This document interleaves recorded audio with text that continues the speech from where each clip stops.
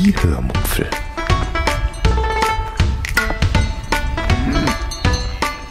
Aus dem Tagebuch einer Allgäuerin.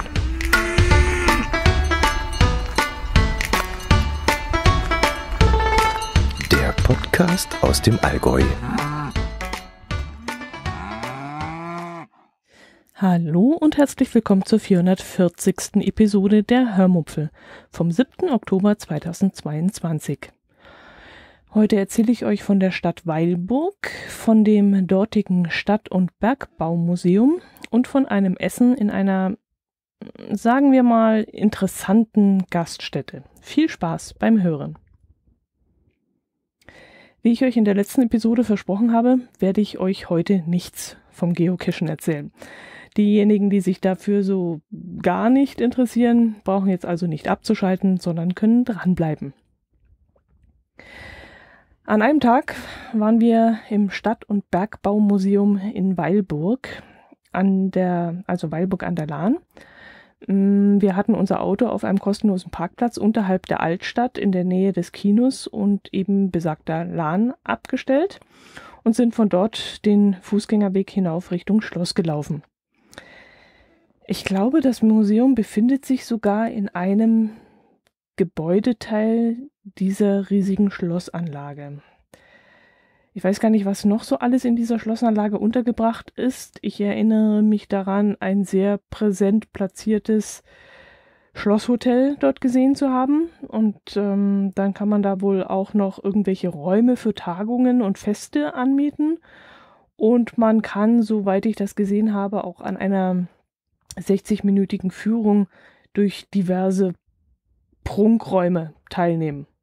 Also wie gesagt, das ist das, was ich so überflogen habe, was ich so mitbekommen habe. Irgendwo stand dann auch noch so eine alte Kutsche oder ein paar alte Kutschen in so einer Halle, die man ähm, also durch ein Tor hindurch sehen konnte. Aber was genau da noch alles untergebracht ist, das weiß ich nicht. Ja, aber zurück zu diesem Stadt- und Bergbaumuseum. Das kostet 3,50 Euro pro Person Eintritt. Für 50 Cent zusätzlich kann man dann einen Audioguide ausleihen. Und wenn man das Schloss mitbesichtigen will, kostet das Kombiticket für beides dann 7 Euro. Das Stadtmuseum deckt einige interessante Themen ab. Zum Beispiel ist in einem Raum ein Bruchteil der städtischen Sammlung von alten Büchern untergebracht. Da findet man dann also so alte Abschriften von Goethe und Schiller und so. Man findet dort auch Lehrpläne und Stundenpläne aus der städtischen Universität und so ein Zeug. Und ja, ich weiß nicht, was noch alles. Also ist eine richtig schöne Sammlung. Man kann es natürlich nicht anfassen. Man sieht es nur in ähm, verglasten Bücherregalen stehen. Aber wer sich für sowas interessiert, ähm, sollte da mal hingehen.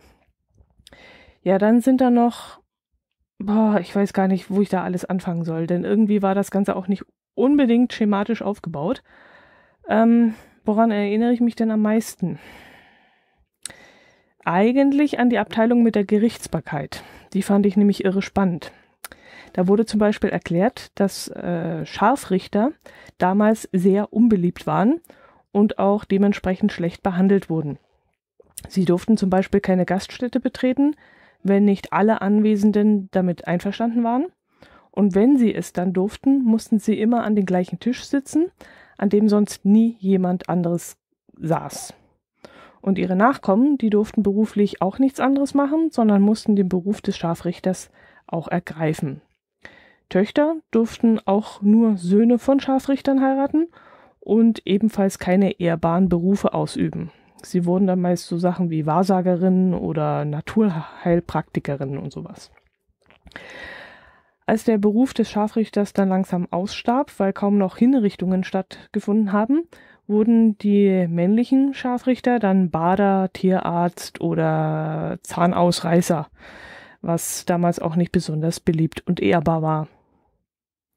In einigen Vitrinen kann man dann auch neben diesen Informationen diverse Utensilien von diesen Scharfrichtern anschauen, zum Beispiel eine Scharfrichtermaske oder diverses Folterbesteck oder dann Zangen zum Zahnziehen und Sägen, um irgendwelche Körperteile zu amputieren. Also wie gesagt, diese Abteilung fand ich besonders interessant und deswegen ist sie mir so präsent geblieben. Dann waren da noch irgendwo Tontöpfe und Werkzeuge aus noch früheren Zeiten ausgestellt. Das interessierte mich dann weniger. Da warf ich dann nur einen kurzen Blick auf ein altes Steingrab, in dem die Knochen von einem kleinen Mädchen und einem Jungen lagerten und äh, noch so diverse Schmucksachen, also so Ketten aus Steinperlen und Haarklammern und sowas. Interessanter fand ich dann wieder die Apotheke, die in einem Raum wieder aufgebaut worden war. Das bestand hauptsächlich aus einem Regal, in dem allerlei Glasflaschen standen und diverse Schubladen mit unverständlichen, ich nehme mal an, lateinischen Abkürzungen. Mm, auf einer Tafel kann man dann auch lesen, wie die Apotheken in Weilburg entstanden sind. Dass es erst ein Hausbarbier, Barbier, Barbier nennt sich das, glaube ich, gegeben hat, der die gräfliche Familie versorgt hat. Dann wurde für die gräfliche Familie ein Medikus eingestellt, der dann die Hausapotheke mitbetreut hat.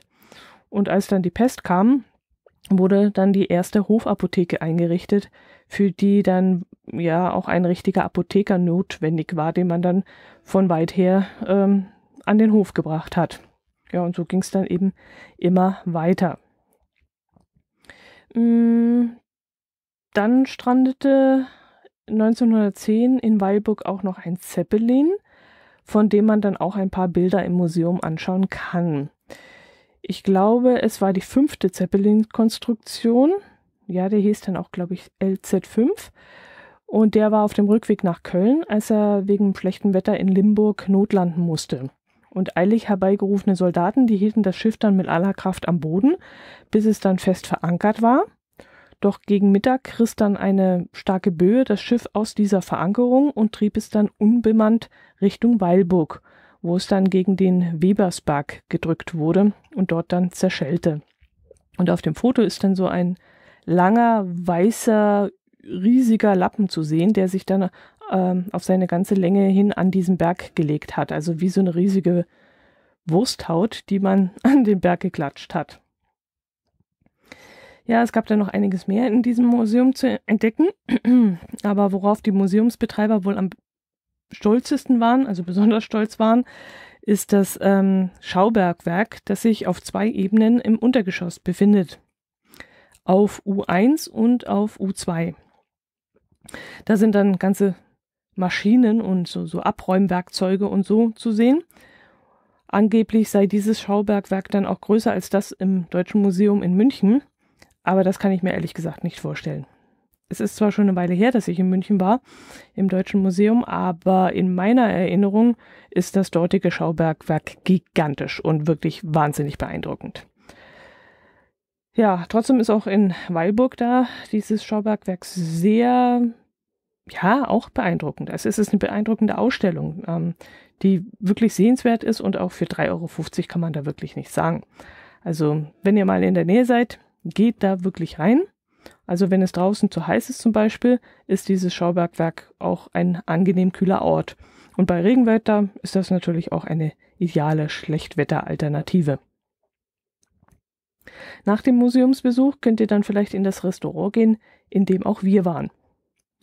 Das Restaurant heißt Alte Rentkammer und liegt nur ein paar Schritte vom Museum entfernt. An dem Tag, als wir dort einkehren wollten, hat es leider erst um 18 Uhr aufgemacht. Das war unter der Woche. Am Wochenende selbst macht es, glaube ich, schon nachmittags bzw. mittags auf.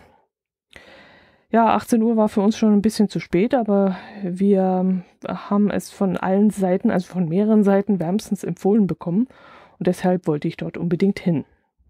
Also haben wir uns dann noch ein bisschen nachmittags die Zeit in der Stadt vertrieben, bis es dann endlich geöffnet hat. Als wir das Gebäude dann betraten, waren wir dann sehr überrascht. Ich war sogar ein bisschen, naja, sehr positiv. Überrascht ist vielleicht das falsche Wort. Ich, ich hatte ja keine Ansprüche so weiter. Ich würde sagen, ich war einfach nur überrascht. Ich hatte es mir irgendwie anders vorgestellt. Also die Innenausstattung, die ist sehr speziell. Ja, wie beschreibe ich das jetzt am besten? Also, ja, kein Tisch gleicht eigentlich dem anderen.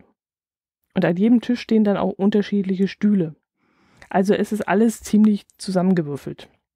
Und die Tischdeko, die ist auch ande, alles andere als gewöhnlich. Also auf einem Tisch stand, ja, der ganze Tisch stand voller silberner Kerzenleuchter und Kristallglasvasen und ja, das stand da nicht, weil das mal kurz da abgestellt worden war, sondern weil das wohl so sein sollte. Das war die Deko, die ganz offizielle. Also alles war sehr üppig und auch ziemlich überladen.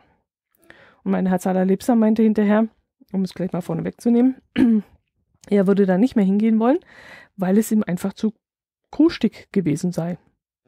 Okay, das war jetzt nicht unbedingt von mir nachvollziehbar, denn ich fand es irgendwie richtig urig und toll. Mir hat das sogar Spaß gemacht, das alles zu betrachten. Und ich würde gerade deswegen auch wieder wegen dieses außergewöhnlichen Ambientes würde ich da sogar wieder hingehen. Aber ja, gut, Geschmäcker sind auch verschieden. Und was Innenausstattung eines Restaurants angeht, wahrscheinlich sowieso. Der eine fühlt sich da lieber wohl, der andere eher, mag es eher bäuerlich oder so, keine Ahnung. Ja, aber wo wir uns definitiv einig waren, das war dann das Essen, denn das war wirklich sehr, sehr gut. Mein Herz allerliebster hatte Leber Berliner Art mit Kartoffelpüree und gebratenen Apfelscheiben. Und das sah wirklich fantastisch aus. Es war wirklich sehr, sehr lecker hergerichtet und schmeckte auch sehr gut. Ich habe dann auch ein Stück kosten dürfen und ich fand es total lecker. Ich hatte dann die hausgemachten Bandnudeln mit Pfifferlingen und die waren auch super lecker. Vor allem, weil sie halt, also die Pasta, die war halt selbst gemacht und das schmeckt man halt auch und das wirkt, ist auch etwas ganz Besonderes, als wenn man da so Tütenpasta bekommt. Als Vorspeise hatte ich dann auch noch Ziegenkäse im Speckmantel und der war auch sehr lecker.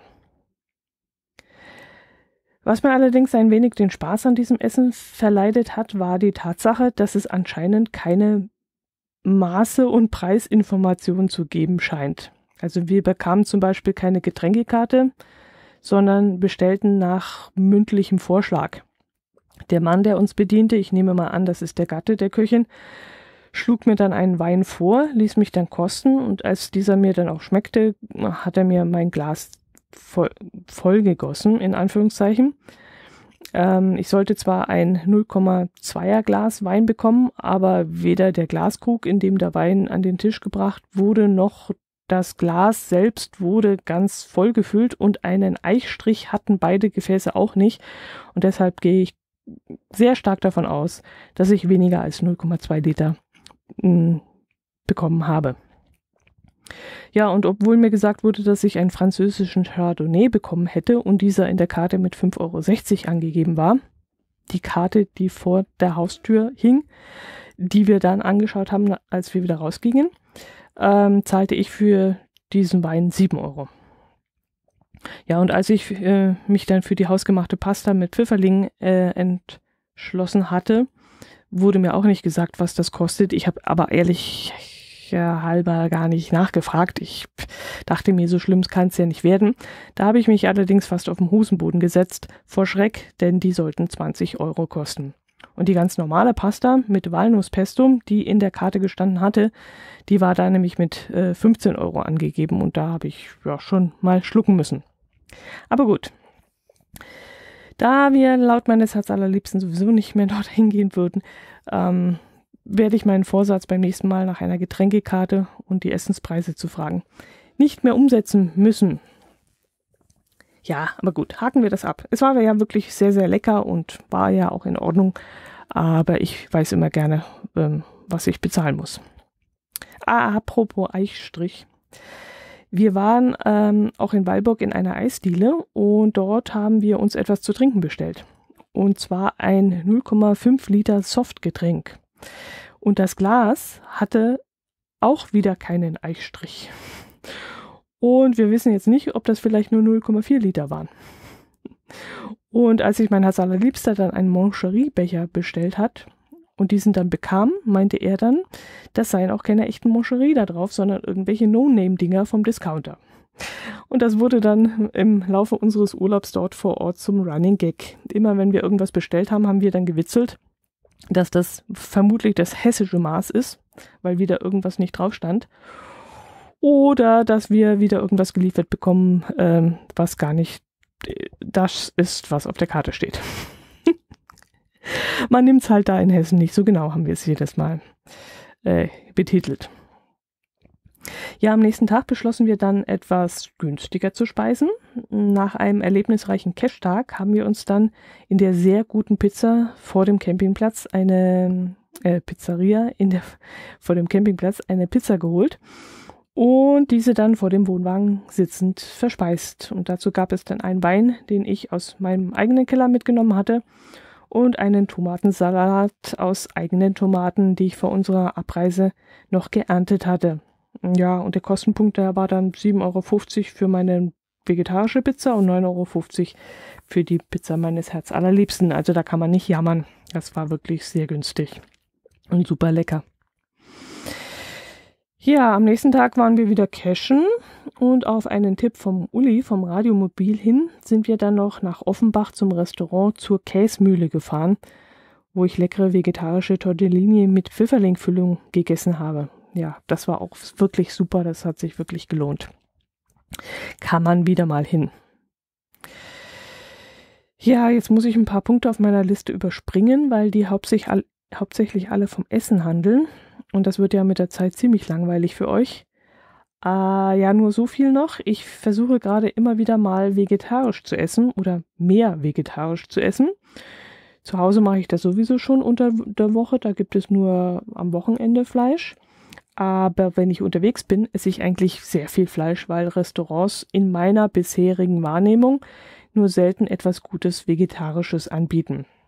Also meistens ist das Backkartoffel mit Salat oder Salat mit Backkartoffel. Und da habe ich eigentlich nie richtig Lust drauf. Aber, und jetzt kommt's, das hat sich in den letzten Jahren offensichtlich zum Positiven verändert.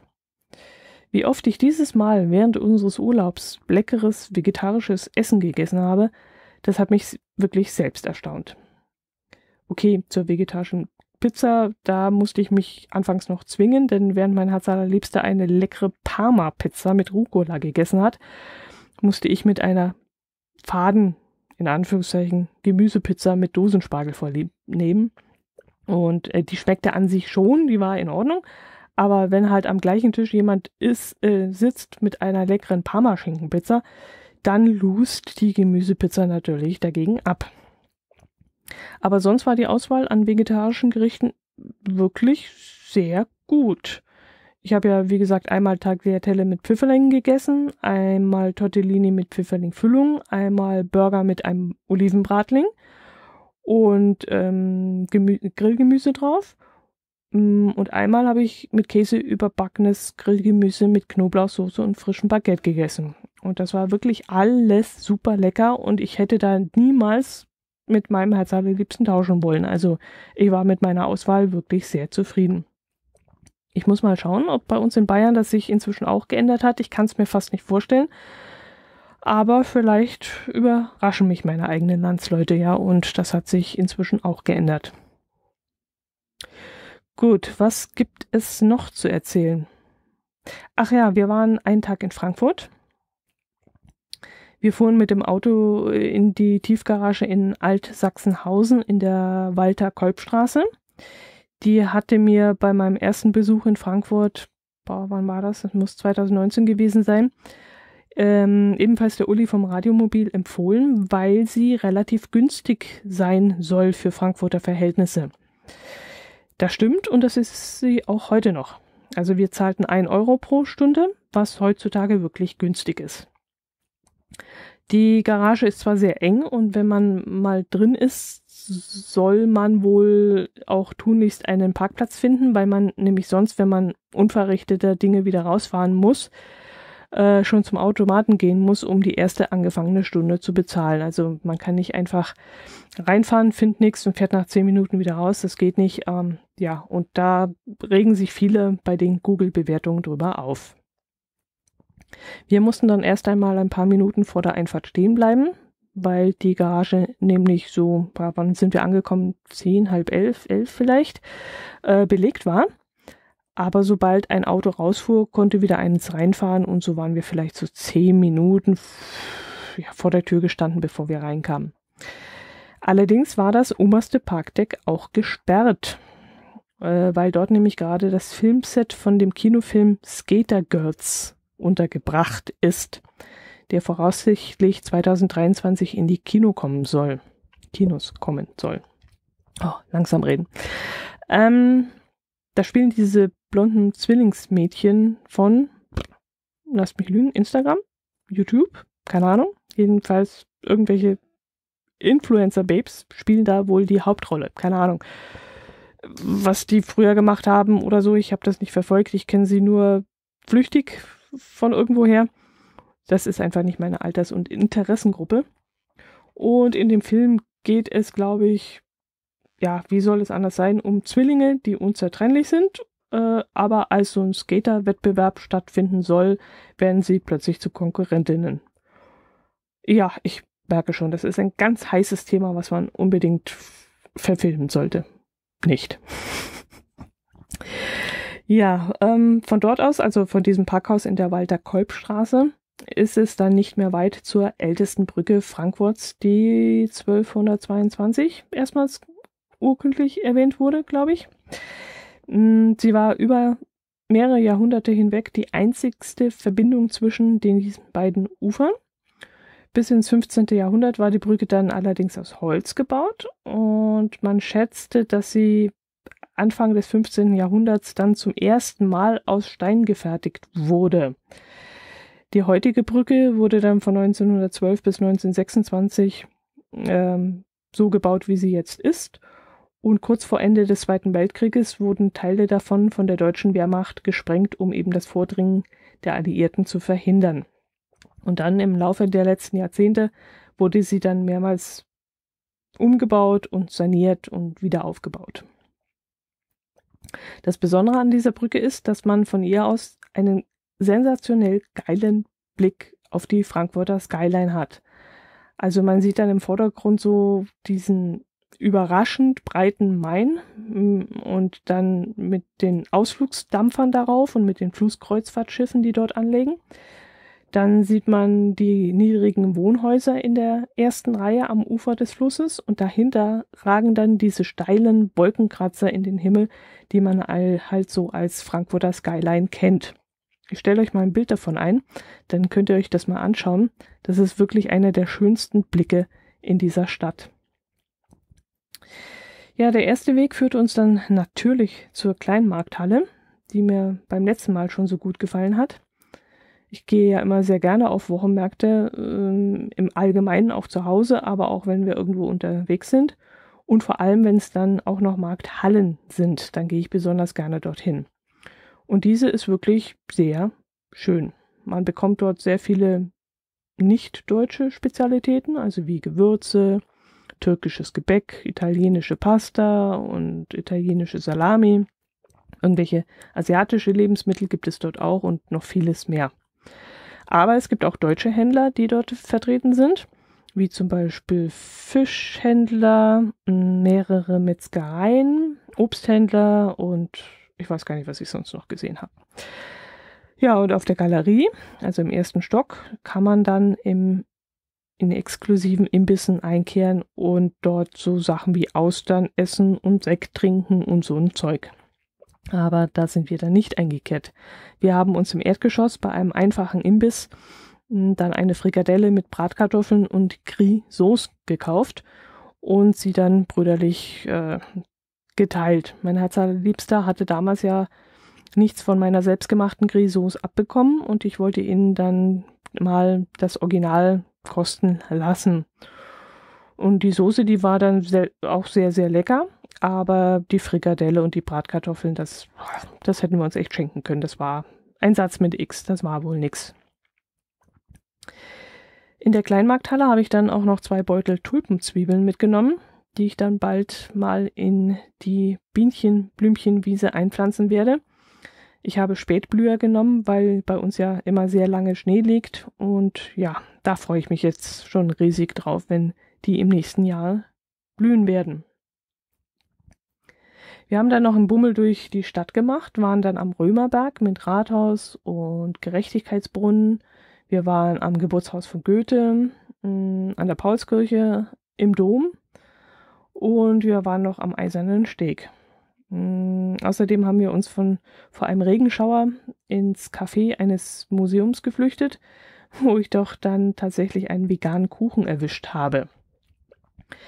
Der sah in der Vitrine zwar ein bisschen trocken und mickrig aus, ähm, was er schlussendlich auch war.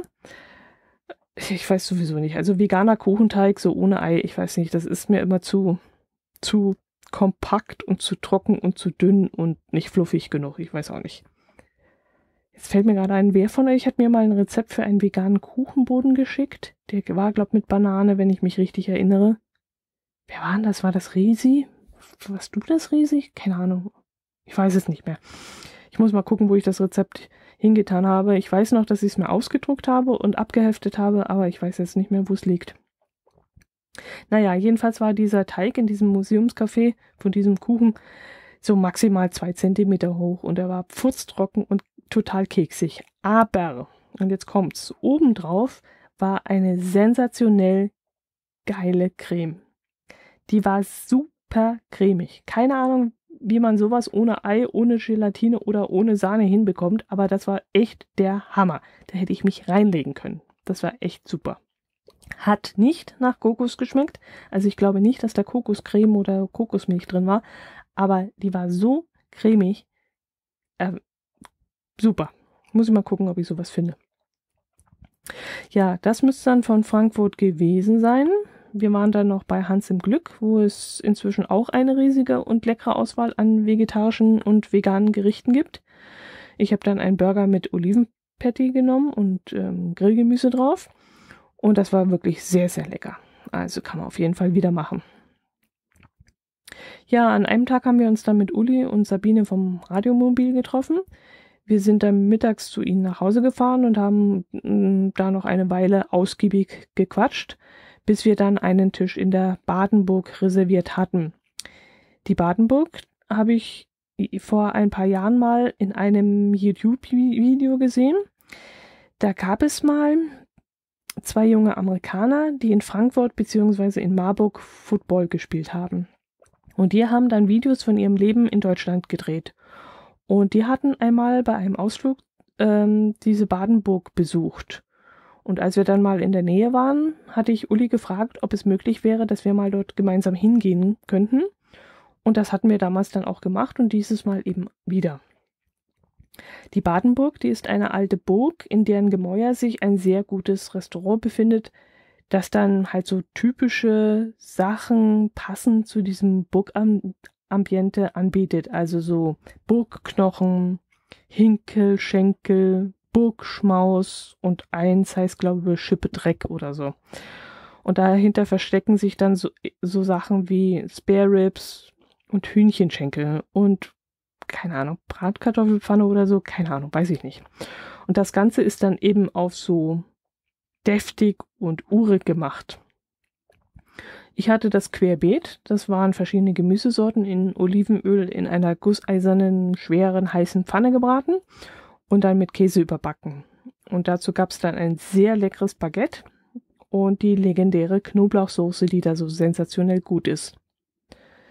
Und wie gesagt, auch da gibt es inzwischen eine sehr leckere Auswahl an vegetarischen Gerichten, die eben über dieses Backkartoffel mit Salat und Salat mit Backkartoffel hinausgeht. Ja, wir konnten dann auch mal ein Stück mit Ulis Hybridauto mitfahren. Ach, jetzt wird mir langsam jeder Arm schwer. Ähm, mein Herz allerliebster braucht so langsam ein neues Auto. Und weil ein reines Elektroauto für uns einfach nicht in Frage kommt, überlegt er gerade, einen Hybrid zu kaufen. Außerdem steht auch im Raum, das Auto vielleicht nicht zu kaufen, sondern zu mieten. Und deshalb haben wir das Treffen mit Uli mal dazu genutzt, ihn darüber einmal auszuquetschen, weil er sich damit ziemlich tief auseinandergesetzt hat. Und bei der Probefahrt hat sich in meinen Augen auch wieder so ein bisschen herausgestellt, dass so ein Auto eher, ja, eher was für mich wäre sogar weil es auch meiner Fahrweise eher entgegenkommt. Aber das haben wir auch letztes Jahr schon bei der Probefahrt mit meinem reinen Elektroauto gemerkt, also mit, mit einem reinen Elektroauto, weil dieses Rekuperieren oder wie das heißt, das funktioniert ja eigentlich am besten, wenn man vorausschauend fährt und viel mit Motorbremse fährt. Und das ist ja genau meine Fahrweise, so wie ich fahre. Und deswegen wäre eigentlich so ein Hybridauto, beziehungsweise ja, auch ein Elektroauto, aber das wollen wir auf keinen Fall. Also, wie gesagt, so ein Hybridauto wäre da eigentlich eher was für mich. Ja, jetzt müssen wir mal gucken. Meins ist ja noch nicht so alt. Das fahre ich ja noch ein paar Jahre. Aber so lange, so lange bis Wasserstoffautos fahren, das werden wir wahrscheinlich, so lange können wir jetzt auch nicht warten. Das wäre noch immer noch das Beste, finde ich. Ja gut, ähm, eine witzige Situation habe ich mir hier notiert. Ah, das war ja so gut. Ähm, das werdet ihr jetzt wahrscheinlich gar nicht so witzig finden, weil das war wieder so eine Situationskomik, die man nur witzig finden kann, wenn man dabei war. Also, aber ich versuche es trotzdem zu erklären. Also der Uli hat lang und breit über die Vorteile einer Automiete erzählt und ist dabei auch auf die Autofarbe zu sprechen gekommen, weil Autovermieter nehmen halt meistens weiße oder schwarze Autos, weil sie diese wieder besser verkaufen, weiterverkaufen können. Und in einem Nebensatz ließ Uli die Behauptung fallen, dass weiße Autos allerdings grundsätzlich viel beliebter seien als schwarze Autos. Und, dies, und in diesem Moment, ungelogen, Leute, ungelogen, in diesem Moment waren um uns herum nur schwarze Autos zu sehen. Links, vor uns, hinter uns. Autos haben uns überholt, die waren schwarz. An der nächsten Kreuzung mussten wir halten und von allen Seiten an dieser Kreuzung kamen schwarze Autos. Und wir haben so lachen müssen. Also ich musste mich so dermaßen zusammenreißen, kein Lachflash zu kriegen. Das hat so super gepasst in dem Moment. Ja, nee, weiße Autos sind ja viel beliebter. Grüße an dieser Stelle an Uli. Ich kaufe ein schwarzes Auto. ja gut, ähm, das müsste dann von Weilburg eigentlich gewesen sein. Der Rest ist, wie gesagt, Geocaching-Content. Das war ja auch der Hauptgrund, warum wir dieses Mal dorthin gefahren sind. Aber ich könnte mir durchaus vorstellen, wieder einmal dorthin zu fahren um die Gegend dann mal mit dem Fahrrad oder auf größeren Wanderungen zu entdecken. Und der Campingplatz, der hat uns auch sehr gut gefallen und ich glaube, auch dort würde ich wieder gerne hinfahren. Ja, also muss man sich einfach mal im Kopf merken und äh, vielleicht, dass wir wieder mal dahin fahren und ähm, da einiges anderes unternehmen als nur Geocaching. Ja, ähm, in der nächsten Episode erzähle ich euch dann von ja, von, von unserer zweiten Station unseres Urlaubs. Lasst euch einfach überraschen. ich hoffe auch diesmal war wieder etwas Unterhaltsames für euch dabei. Und wir hören uns nächste Woche wieder. Empfehlt mich weiter, kommentiert. Ich würde mich darüber freuen. Macht es gut. Servus.